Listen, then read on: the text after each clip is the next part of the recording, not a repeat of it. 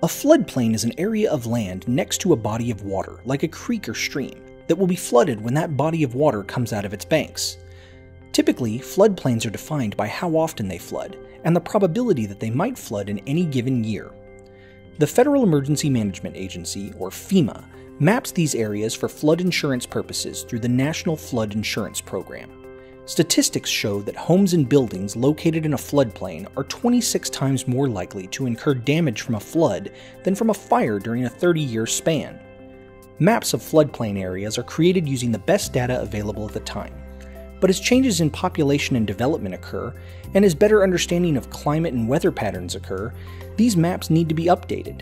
The process for updating flood maps is a long one, typically taking between 3 and 5 years. Flood maps need to be updated to help communicate flood risk to a community and its residents, and to help determine flood insurance rates. For more information about flooding and the City of Norman, visit normanok.gov.